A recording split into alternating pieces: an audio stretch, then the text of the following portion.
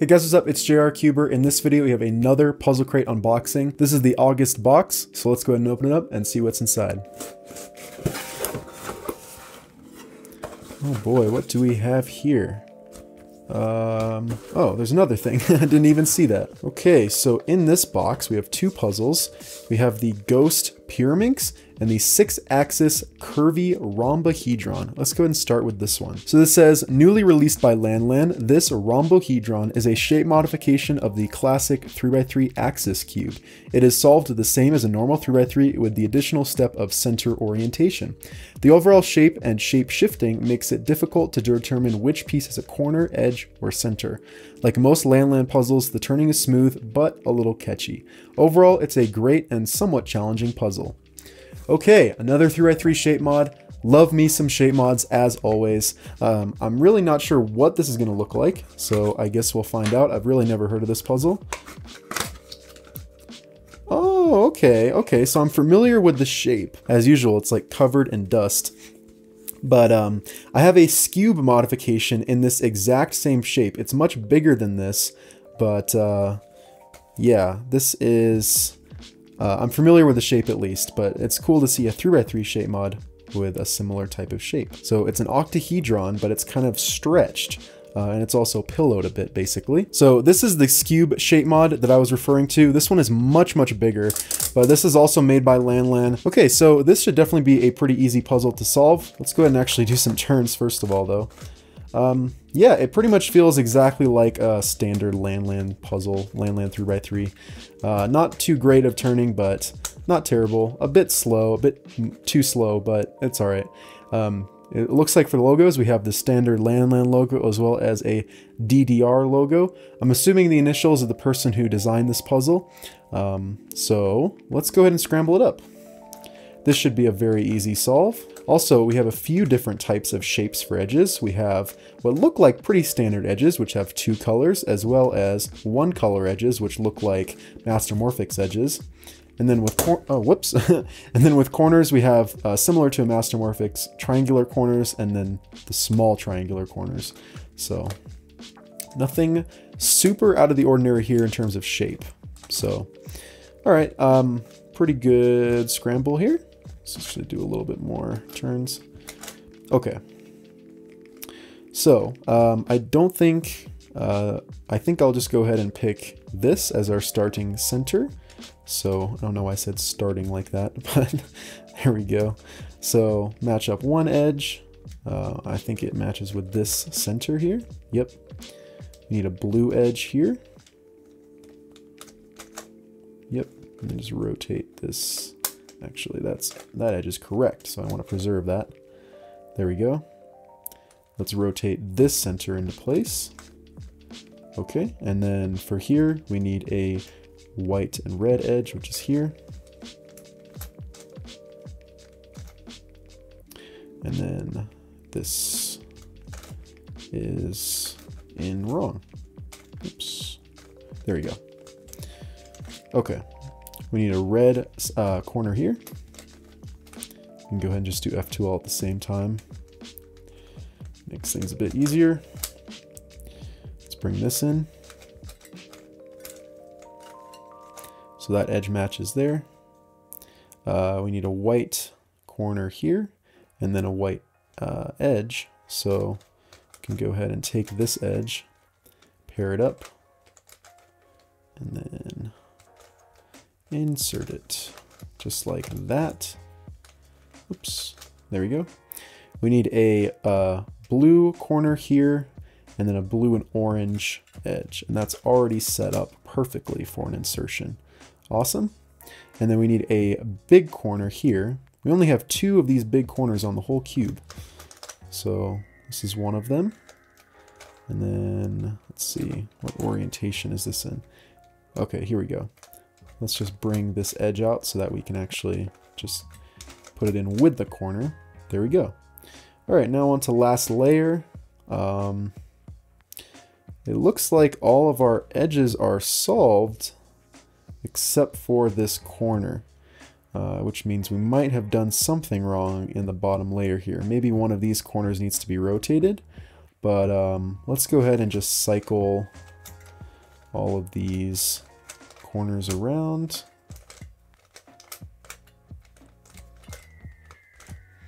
Okay, so uh, is this... Oh wait, actually no, this is not a 90 degree rotation. This is 180 degrees. That's even easier. I was about to say, I don't think you can get a 90 degree only um, parity on a 3x3 shape mod. Um, so yeah, that's about it. Just 180 degree rotation, which is much easier to deal with. Okay, there's the solve. Uh, yeah, just a standard 3x3 shape mod. Really nothing too difficult about this one. Um, but uh, yeah, pretty nice shape. Uh, nice addition to the collection. All right, let's move on to the next one. Next one in here is the Ghost Pyraminx. So this says, produced by LeFun a few months ago, this Ghost Pyraminx is actually a shape modification of the Jing's Pyraminx, which is itself a shape modification of the Skewb. Therefore, solving this puzzle should be the same process as solving the Skewb. However, this puzzle is more difficult due to its shape-shifting abilities and center orientation. Its clicking mechanism makes it easier to line up the layers before making a turn. As long as you don't try to force any turns, it should perform well. Good luck. Okay, Skewb shape mods are kind of my nemesis. I really don't like them. Uh, so we'll see how this works. Uh, I can solve a Jing's Pyraminx okay, uh, because I kind of don't really think of it as a Skewb. So maybe we can apply the same process. But first of all, this is a super cool looking puzzle. I'm really liking the kind of fractal design that I'm kind of getting here and weird things like this where you have two identical pieces that should not be next to each other. So with the ghost in the name, it implies that this needs to be misaligned to do other turns. So, okay, that's a very cool sound. That's just the, the clicking mechanism. It sounds like, yep, ball bearings. So that's cool. So to, to perform a turn, basically you have to kind of, it's actually really easy to tell because it'll click into place. And now everything's aligned and then you can do other turns like this. So, ooh, this one's a bit rough right here, but that's okay. Still performs okay. So this is the actual solved state right here. Um, so I'm kind of trying to figure out how to approach this. I'm trying to see how it relates to a Jing's Pyraminx. Um, I can see how it relates to a Skewb, right? Because it looks like this is a corner and these are your centers. Um, I'm assuming, I think, like if we do another turn here, yeah, this is definitely a corner, which would make these the centers. I think, because I think this is also a corner. Oh yeah, okay. I don't even have to take it apart to tell, honestly. I can tell that these are centers. So that means we have um, corners here, here, here, and here. And that means on this side, we have corners here, here, here, and here. And then our centers are here, here, here, here, here, and here. All right, let's go ahead and scramble it up.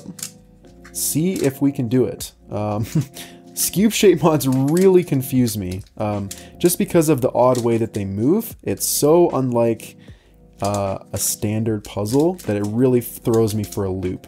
But um, we're to give it a shot, basically. Just see how it works.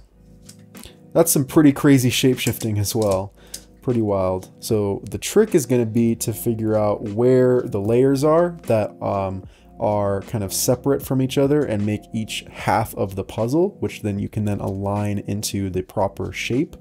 Um, so I guess we're just going to kind of start just turning this around basically and just seeing what matches up with what. Eventually we're going to get something that matches up just through sheer trial and error. See, there we go. That matches up Actually, it doesn't. And I think also, too, we can use the carbon fiber stickers kind of as a guide to see what matches and what doesn't. Um, this definitely feels like it's in the right place, but maybe just the wrong orientation. Yeah, so this is right because the carbon fiber matches. So that's a nice little uh, trick. Definitely would be a little bit harder if it didn't have that. All right, let's see if we can find anything that goes next to this. Um, that actually looks like, oh no, no, no, this is not right because like I said, the stickers don't match. So let's do a rotation, do another check. Uh, no.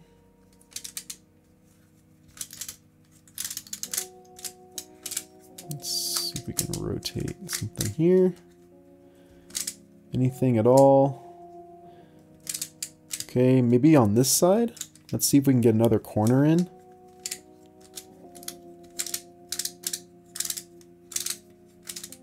Seems like a very trial and error type of puzzle. I'm Not sure how I feel about this. So that's not right.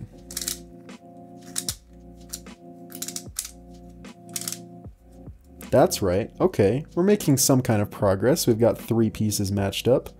I'm not sure if the other pieces go on this side or on this side of these pieces. Probably should have paid a little bit closer attention to what the faces looked like. Oh, okay, hold on. We might actually have to ditch this because these pieces match up. I want to see if I can get this corner to, to match up as well. Because it looks like we're making kind of some progress here. Actually, though, here's the thing. We want one center with four corners around it because that's how a cube is done. Um, here, it looks like we have two centers with one corner around it, which is not ideal. Here, we have one center with two corners around it, so I think that's more progress, actually. Despite how tempting this is, I think I might leave this alone. Here we have those two corners that were opposite of each other. That's a good sign. Whatever is up here is going to be its own kind of face, and this is the bottom. I'm pretty sure. So that's good. I think if we means if we keep trying to build out in this direction somehow, we'll be making some kind of progress. Aha. There's another piece. Our last corner has to come on this side see if we can make that happen in some way. The problem is that I'm thinking the corner that goes here is from the other layer that's kind of you have to misalign with. So I don't think it's going to match up with this piece. Okay, honestly, I'm going to spare you guys the next almost 45 minutes of me fiddling around with this puzzle. I really just didn't get anywhere. I tried everything, but this puzzle was just too confusing. So I figured I'd just cut to the end where I basically give up.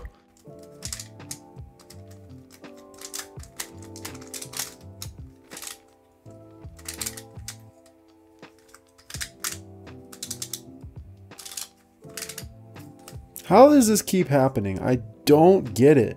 I just, I don't understand. Yeah, all right. I'm done. No more for me. Thank you very much. Oh.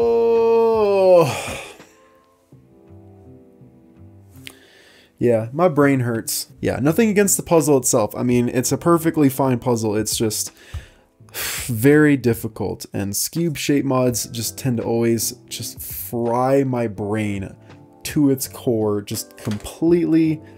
I'm just like I feel brain dead. I don't know what it is about it but they are so difficult. I, I don't get it. I don't get how they work. Like cubes I can understand just fine but Skewb shape mods not at all. Um yeah. All right that's about it. This is a fun puzzle though. Um, 3x3 shape mods, definitely my more my thing. Uh, but yeah, all right. That's about it for this month's Puzzlcrate. If you guys want to check out Puzzlcrate, the link will of course be in the description. It's a $30 a month subscription service and you get new puzzles sent to you every single month. If you guys like this video, make sure to hit that like button, turn on notifications, and subscribe if you haven't already. Thanks for watching guys. Bye.